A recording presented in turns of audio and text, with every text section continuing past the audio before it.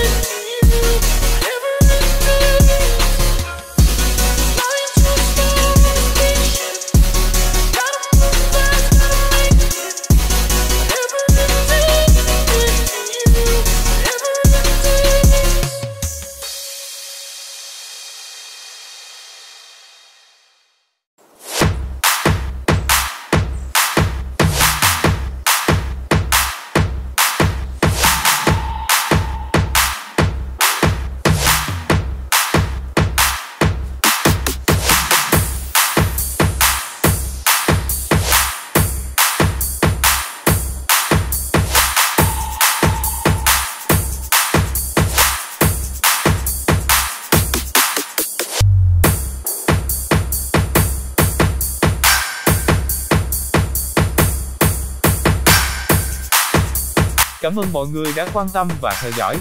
Nếu mọi người thấy video hay và hữu ích thì đừng quên like, comment góp ý những gì mình còn thiếu sót và subscribe kênh mình ạ. À.